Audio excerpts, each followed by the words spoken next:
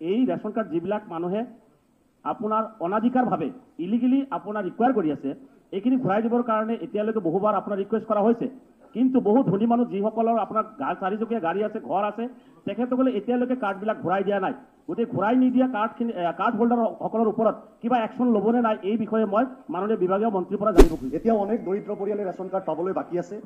আৰু এই ক্ষেত্ৰত এনে হাজাৰ হাজাৰ পৰিয়ালক ৰেচন কাৰ্ড দিয়াৰ ক্ষেত্ৰত চৰকাৰে কি ব্যৱস্থা গ্ৰহণ কৰিব আৰু কিমান দিনৰ ভিতৰত গ্ৰহণ কৰিব? এক লাখতকৈ অধিক আয় যাৰ হয় তেওঁ সেই কাৰ্ডখন ল'ব নোৱাৰে।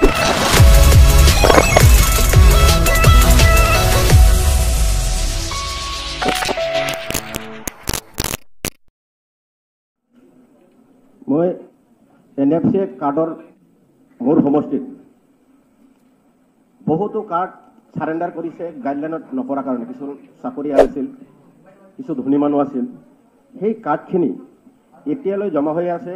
তাৰে পৰিৱৰ্তে সেই ৰেচন কাৰ্ডবিলাক যিসকল উপযুক্ত সেইসকলক দিব পাৰিবনে নাই আৰু কেতিয়া দিব মই মন্ত্ৰী মহোদয়ৰ পৰা মই জানিব বিচাৰিছোঁ।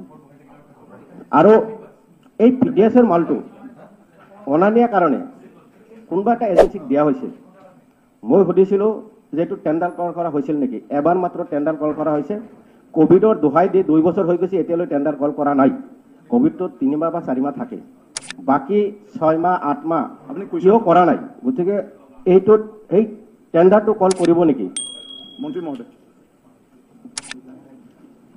অধ্যক্ষ মহোদয় তেখেতে প্ৰথম বিষয়টো যিটো সুধিছিলে যে বহু অযোগ্য ব্যক্তিয়ে অৰ্থাৎ অৰ্থনৈতিকভাৱে সচ্ছল ব্যক্তিয়ে ইতিমধ্যে এই কাৰ্ড এনজয় কৰি আছে।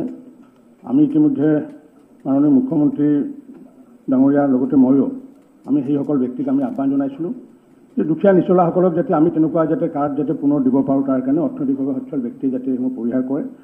আৰু আমাৰ আহ্বানক সঁহাৰি জনাই ইতিমধ্যে ভালে সংখ্যক ব্যক্তিয়ে তেনেকুৱা কাৰ্ড এৰিছে। বহুতে এই কাৰ্ডসমূহ ষ্টেটাছ চিম্বল হিচাপে ৰাখি থৈ আছে। এইখন কাৰ্ডৰ আগন্তুক দিনত এন আৰ চিৰ বা ভোটাৰ লিষ্টৰ বা কোনো ধৰণৰ অফিচিয়েল ডকুমেণ্ট নহয় এক্সেপ্ট এই ৰেচনখিনি লোৱাৰ কাৰণে। গতিকে আমি জুলাইৰ পিছত আমি উপায়ুক্তসকলক আমি নিৰ্দেশ দিম যে তেওঁলোকে গাঁওবুঢ়াৰ জৰিয়তে হওক বা কনচাৰ্ণ অথৰিটিৰ জৰিয়তে হওক তেনেকুৱাসকলক ব্যক্তিৰ আমি কাৰ্ডসমূহ কৰ্তন কৰাৰ কাৰণে সিদ্ধান্ত গ্ৰহণ কৰিছোঁ। আৰু সন্মানীয় আব্দুল কালাম ৰচিদ আলাম ডাঙৰীয়াই যিটো ট্ৰেন্সপৰ্টেশ্যনৰ বিষয়ে সুধিছে আচলতে এইটো জিলা উপায়ুক্তৰ ওপৰত নিৰ্ভৰ কৰে টেণ্ডাৰ বিষয়টো তেখেতলোকে চায়। গতিকে এতিয়া যিহেতু আমি পুনৰ মাননীয় মুখ্যমন্ত্ৰী ডাঙৰীয়াই এটা এবাৰ নতুনকৈ এটা সিদ্ধান্ত গ্ৰহণ কৰিছে যিহেতু সমবায় সমিতিও যিহেতু এই কামবোৰ কৰি আছে গতিকে সমবায় সমিতিসমূহকো যদি আগন্তুক দিনত তেওঁলোকৰ ক্ৰাইটেৰিয়া যদি ফুলফিল হয় আমি তেওঁলোককো অৰ্পণ কৰিব বিচাৰিছোঁ যদি ক্ৰাইটেৰিয়া ফুলফিল হয় গতিকে নিশ্চিত ৰূপত আগন্তুক দিনত সমবায় হওক বা ব্যক্তিগত খণ্ডৰ কোনোবাই হওক টেণ্ডাৰৰ জৰিয়তে এইটো পোৱাৰ ব্যৱস্থা কৰিছোঁ। নেক্সট ছাপ্লিমেণ্টাৰী যদি সেই ডি চি এইটো টেণ্ডাৰ কল কৰিব লাগে যদি কৰা হোৱা নাই এইটো কিবা ইনকুৱাৰী কৰি কিবা বিহিত ব্যৱস্থা ল'ব নেকি? আৰু মোৰ কুৱেশ্যনটো অনাৰ মেইন অৰ্থটো হ'ল ইয়াতে এটা ভয়ংকৰ কেলেংকাৰী হৈ আছে। এই ট্ৰেন্সপৰ্ট এজেঞ্চিৰ দ্বাৰা কি কৰিছে মই গোৱালপাৰা জিলাকে উদাহৰণ দি কৈছোঁ। এতিয়া সৰ্বক বা বঙাইগাঁৱৰ পৰা মালটো লৈ আহিলে। আনি পেলাই গোৱালপাৰাত এফ চেট এইটো ৰাখি থৈ দিলে। ৰখাৰ পিছত কি হয় তাতে মানে হোলচেল মাৰ্কেটটো হ'ল। যেতিয়া ছ'চাইটিয়ে চাউলটো লৈ আনে এটা ছ'চাইটিয়ে যদি এক হাজাৰ কুইণ্টেল এলটমেণ্ট হয় এক হাজাৰ কুইণ্টেলটো লৈ নাযায়। তাতে আপুনি আপুনি শুনক, বস্তুটো আপুনি বুজিব লাগিব। আপোনাৰ প্ৰশ্ন আপুনি বুজিব লাগিব মই চৰকাৰক অৱগত কৰি আছো। সেইটোৰ কাৰণে আপোনালোকে ডিবেটত নহয়, নহয়। কথা পাতিব। নহয় কুৱেশ্যন আৱাৰ আপুনি কুৱেশ্যন আনিছো কিয়? ইয়াতে ভয়ংকৰ কেলেংকাৰী আপুনি। কুৱেশ্যন আনিছে হৈ গ'ল। আৰু যদি কুৱেশ্যন নাই ছাপ্লিমেণ্টাৰী মই দি আছো। আপোনাৰ যদি ছাপ্লিমেণ্টাৰী কুৱেশ্যন আছে আপুনি সোধক যদি কুৱেশ্যনে নাই আপুনি পাৰ্মিশ্যন দিয়ক নিদিয়ক মই কথাখিনি ক'ব পাৰ্মিশ্যন। নিদিয়াকে আপুনি কেনেকৈ। ক'ব ইয়াত নিয়মত মাজত নহয়, চলিব। ইয়াতে ছাপ্লিমেণ্টাৰী লৈ আছে। সেই এজেঞ্চিয়ে কি আপুনি? এটা কওক না যে এই আপুনি তাৰ পৰাই ডি চি এ কৰে inquiry কৰিব লাগে। সন্মানীয় সদস্য। মালটো ডাম্পিং কৰে। আপুনি শুনকচোন। ঠাইত আপুনি মোৰ কথা শুনকচোন। ছাপ্লিমেণ্টাৰী মই কুৱেশ্যন বুজি পাইছো। আপুনি কি ক'ব হৈছে বুজি পাইছো। মই এতিয়া বুজি পালেতো। আপুনি প্ৰশ্ন ক'ব নালাগে। এইটো। ক'ব খুজি আছে। কিন্তু মই এইখিনি কথা আপোনাক অৱগত কৰিব লাগিব। কাৰণ সেই তাতে যে ডাম্পিং কৰিলে সেই মালটো ছচাইটিয়ে সেই মাহৰ মালটো ল'ল নে নাই। না আধা তাতে বিক্ৰী কৰি থৈ গ'ল। এই inquiry মন্ত্ৰী লাগিব। মহোদয় কৰিব, আৰু চৰকাৰে এটা- কৰিব। আৰু এটা কথা গতিকে আপুনি মোৰ থ্ৰুৱেদি কুৱেশ্যনটো কৰক। প্ৰত্যেকটো সুলভ দোকানীয়ে ডেৰ কেজি দুই কেজিকে সেই হিতাধিকাৰীৰ পৰা নেক্সট ছাপ্লিমেণ্টাৰী মজিবুৰ ৰহমান। ট্ৰেন্সপৰ্টৰ নামত। Next supplementary Mujibur Rahman. Honourable সদস্য বহক আচল কথাখিনি মই ক'ব মাননীয় নোৱাৰিম কুৱেশ্যন মাননীয় অধ্যক্ষ মহোদয় মই আপোনাৰ জৰিয়তে বিভাগীয় মন্ত্ৰীৰ পৰা এটা কথা জানিব খুজিছোঁ। যে মাননীয় অসমৰ মুখ্যমন্ত্ৰী আৰু মাননীয় বিভাগীয় মন্ত্ৰী কেইবাবাৰো আপোনাৰ পেপাৰত এড দিছে আৰু ৰিকুৱেষ্ট কৰিছে আপুনি কুৱেশ্যনটো কৰক এইটো গোৱালপাৰাৰ। মানে সেইটো গোটেই কথা এডভাৰটাইজমেণ্টৰ কৈছো। কথা ক'ত পৰা আপুনি যিটো উত্তৰ আছে সেই উত্তৰত। বিসংগতি কি আছে বা জানিবলগীয়া। আৰু কি আছে সেইটো আপুনি সোধক এই নেশ্যনেল ফুড চিকিউৰিটি আণ্ডাৰত। যিবিলাক ৰেচন কাৰ্ড আছে এই ৰেচন কাৰ্ড যিবিলাক মানুহে আপোনাৰ অনাধিকাৰভাৱে ইলিগেলি আপোনাৰ ৰিকুৱাৰ কৰি আছে এইখিনি ঘূৰাই দিবৰ কাৰণে এতিয়ালৈকে বহুবাৰ আপোনাৰ ৰিকুৱেষ্ট কৰা হৈছে। কিন্তু বহু ধনী মানুহ যিসকলৰ আপোনাৰ চাৰিচকীয়া গাড়ী আছে ঘৰ আছে তেখেতসকলে এতিয়ালৈকে কাৰ্ডবিলাক ঘূৰাই দিয়া নাই। গতিকে ঘূৰাই নিদিয়া কাৰ্ডখিনি কাৰ্ড হোল্ডাৰ সকলৰ ওপৰত কিবা একশ্যন ল'বনে নাই এই বিষয়ে মই মাননীয় বিভাগীয় মন্ত্ৰীৰ পৰা জানিব খুজিছোঁ। মন্ত্ৰী মহোদয়। এইটো সুন্দৰ প্ৰশ্ন এটা আনিছে সন্মানীয় বিধায়কগৰাকীয়ে।